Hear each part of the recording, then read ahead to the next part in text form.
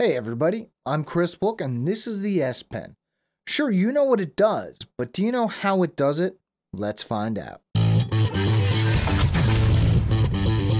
It seems simple enough. Take out the S Pen, write on the screen, and there you go. But it's a little more complicated than that. For example, there's a button on the S Pen that's going to need power, and where does that power come from? How does this all work together? Well, let's break it down. Okay, I have an admission to make. I can't literally break the S Pen because then I wouldn't be able to use it. What I can do is tell you and show you how it does what it does.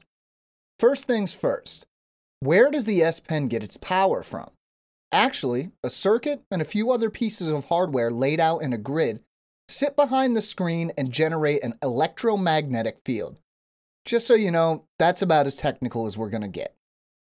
As soon as the S Pen gets in range, it starts to pick up that electromagnetic field. This, by the way, is right around where you'll start to see the hover icon appear on the screen. Now inside the S Pen, near the front, is a tightly wrapped coil that channels the energy from the field and uses it to power its own circuit. Now here's where it gets really interesting. The screen has nothing to do with using the S Pen. That's right, nothing. It's possible that you might have noticed this before, but if you press the tip or nib of the S Pen while it's close enough to the screen, it acts exactly as if you had just tapped the screen. That's because the nib is basically another button on the S Pen.